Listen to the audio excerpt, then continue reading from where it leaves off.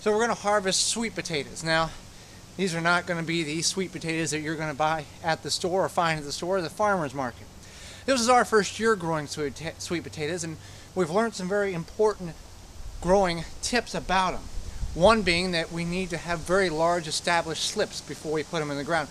We just started with very short uh, slips that we started very late in the season. So we're going to start our slips very early next year, preferably even January. Second being, with long slips, everywhere that vine touches the ground is going to put tubers on under the ground. It's another thing that we've learned. And that sweet potatoes like a lot of heat or warm weather and here in the upper Midwest portions of the United States, we just really haven't had those intense warm summers or hot summers like we are traditionally, well, we traditionally have. Nevertheless, we're going to harvest these. We're going to see what we have because we do have some potatoes under the ground. We'll take what lessons we've learned this year and apply them to next year and be even better sweet potato gardeners for future future years to come. So, got our trusty garden fork. This is the slip where the potatoes are. Now you can harvest the leaves and make stir fry out of them. Some people do that and are very tasty. We're not. We're just going to compost them. We're going to see what uh, tubers we have under the ground here. Let's see what we got.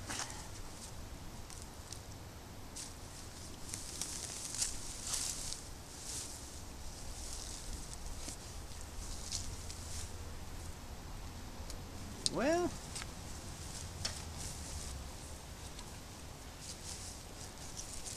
nothing that's going to win any prizes here, but that sure is promising for future planting that we know what we're doing, at least somewhat. Those are somewhat tiny. No, they are tiny. Let's let's not kid ourselves. These are tiny, but with all what we've got planted here, we might be able to get at least you know a meal out of them. So let's go ahead and harvest the rest of them, and then we'll see what we end up with.